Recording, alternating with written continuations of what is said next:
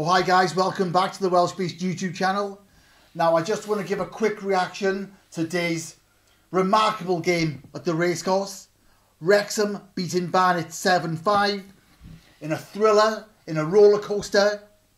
Who saw this coming? Nobody in the world. You know, I knew Wrexham were going to score goals. I expected them to win 4-1. I wasn't expecting this. You know, today we had everything. You know, spectacular goals, deflected free kicks, a penalty, goals that could have been easily prevented, goals from every aspect of the pitch, spread around the team,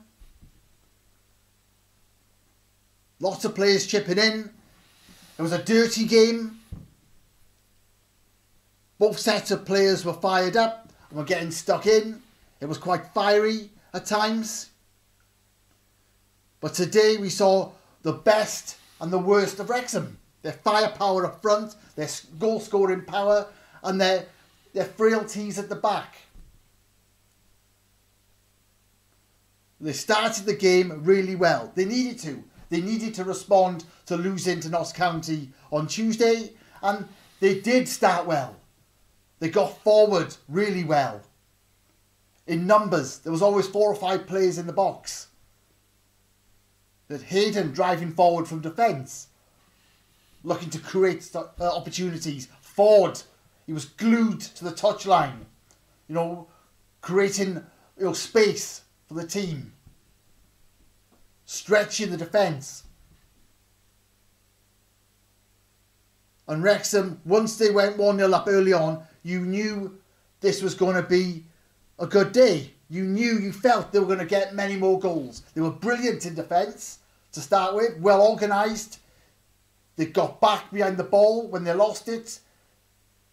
Very strong, very disciplined, very organised. First 20 minutes, Barnet wasn't there. They offered nothing. They were feeble, they were flimsy, they were weak, they were no threat at all. Then from nowhere, they scored two goals. Two goals that should have been prevented and stunned everybody. Not the stuffing out of everybody. Wrexham has shown their character, their quality, their firepower. Got back into the game, leading at half time. And you never felt Wrexham were going to lose the game. You never felt there were any serious trouble. They were always the better team. They were always, you know, you could always see the quality was there. So it was never a concern. I always felt they were going to score many more goals. They were always capable of matching and overtaking anything and overpowering anything Barnet could offer. They're just a better team all round. But when Barnet made it 3-3, you're thinking, you know, it's, it's game on here. Because Wrexham had lost that shape. They'd lost that discipline. They were edgy, nervous. It was a scrappy game. Both sides creating lots of chances. You know, far more than Barnet should have been. They had two players up front who scored some goals. Kanu and Kabamba. Very, very good players. Always causing trouble. Always a threat. And Wrexham did look vulnerable and disorganised and edgy at the back. Certainly in that scrappy, dysfunctional second half. But when they made it 7-3, you, you knew it was game over. You knew it was impossible for Barnet to get back into it and to win the game. Or even get a draw. You knew Wrexham were too far ahead and were too much in control, really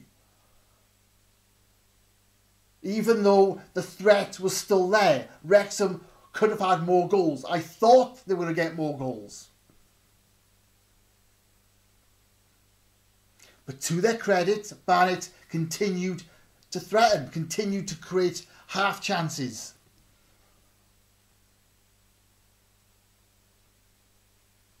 And the last the last 10 minutes they could have got more goals. They had chances they shouldn't have been having. But Wrexham got through it, a 7-5 victory in a you know an astonishing game. They remain second in the National League after Notts County won today as well. But they should not be conceding five goals at home. They've got to. This has got to be a one-off, and they've got to start start scoring more away. But they've done the business.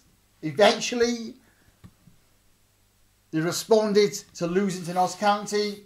Job done. Make this a one-off, and it's the FA Cup next week. Cheers, guys. I'll see you on the next video.